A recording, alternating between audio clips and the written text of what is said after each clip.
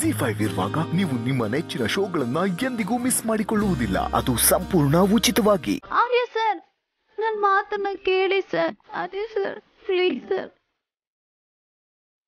Sir, please.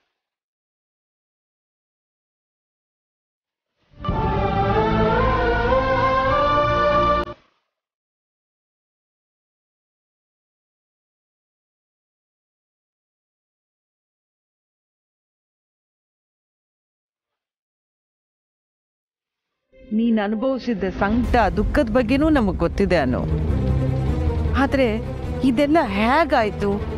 ಏನು ಅನ್ನೋದು ನೀನೇ ನಮಗೆ ಹೇಳಬೇಕು. ಹೇಳ್ತೀನಿ. ಎಲ್ಲಾನು ಈಗಲೇ ಹೇಳ್ತೀನಿ. ಅವತ್ತು ಆರ್ಯ ಸರ್ ನಮ್ಮ ಜೊತೆಗಿಲ್ಲ ಅಂತ ಅಂದ್ಕೊಂಡು ಅವ್ರ ಕ್ರಿಯೆನ ಮಾಡಿ ಮುಗಿಸಿದ್ಮೇಲೆ ನಾನು ನೀರಲ್ಲಿ अपने मिल रघुनन पे दिया।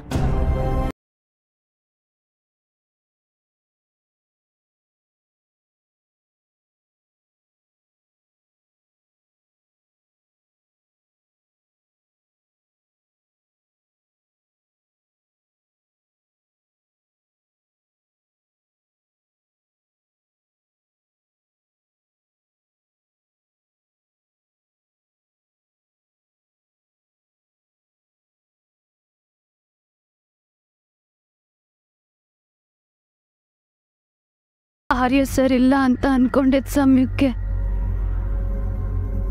ನನ್ನ ಮಗನು ಕೂಡ ಅಪ್ಪನ ಜೊತೆಗೆ ಹೊರಟೈತಲ್ಲ ಅನ್ನೋ ನೋವಲ್ಲಿ ಒಂದು ಕಡೆ ನಾನು ಮೌನಿ ಆಗ್ಬಿಟ್ಟಿದ್ದೆ ಇನ್ನೊಂದು ಕಡೆ ನೀವೆಲ್ಲರೂ ಆರ್ಯ ಸರ್ ಇಲ್ಲ ಅನ್ನೋ ನೋವಲ್ಲಿದ್ರು ಕೂಡ ನನ್ನ ಮಗು ಇದೆ ಅನ್ನೋ ವಿಚಾರದಲ್ಲಿ